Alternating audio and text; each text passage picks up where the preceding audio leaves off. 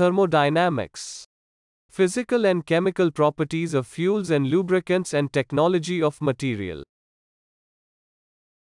Lubrication. Lube oil is a one of the essential elements for operating any kind of machinery on board ship. Lube oil is responsible for lubrication and cooling of the parts which are operating relative to each other, giving rise to frictional and other types of stresses on the machinery. Without the use of lube oil, we cannot imagine any machinery operation on ship. Important lube oil properties to be considered. Viscosity. Viscosity, or the thickness of the oil, is important because it determines the lubricant's film strength and efficiency in preventing friction between moving parts. Thick oil has a high viscosity and thin oil has a low viscosity.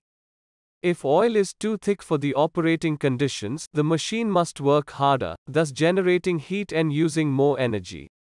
Over time, this will create unnecessary wear and tear on the machine. Conversely, if a lubricant is too thin, the film may not be thick enough to prevent friction. This too will create unnecessary wear and tear on the machine.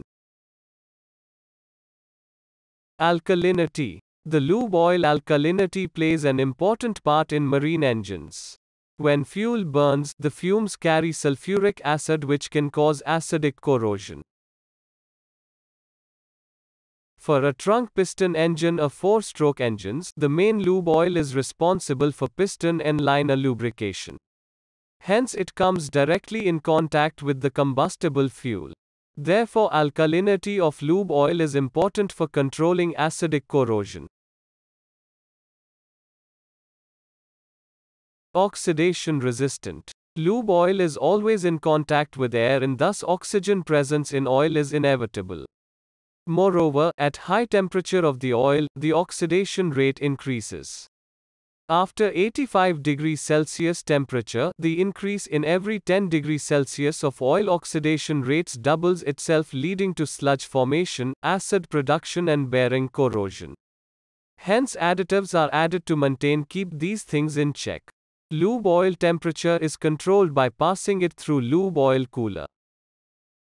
Load carrying capacity. It is also one of the important characteristics of lube oil, which mainly depends upon the viscosity of the oil.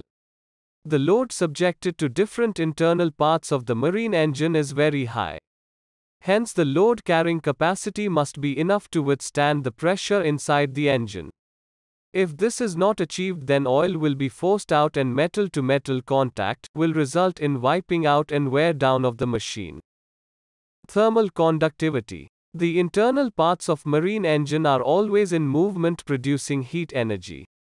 This heat energy has to be carried away, or else it might lead to wear down due to thermal stresses. The lube oil must cool down the internal parts to avoid such a situation and must have a good thermal conductivity.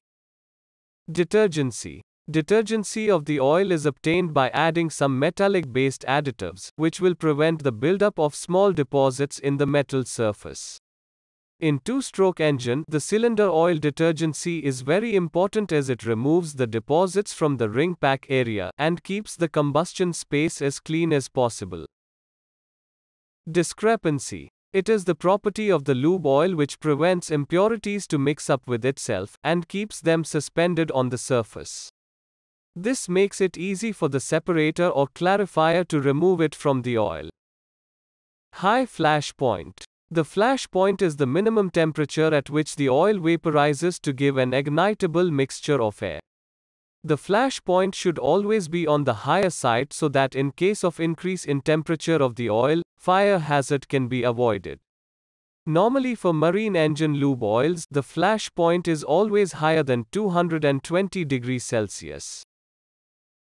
Low demulsification number. It is not practically impossible to completely avoid contamination of oil with water.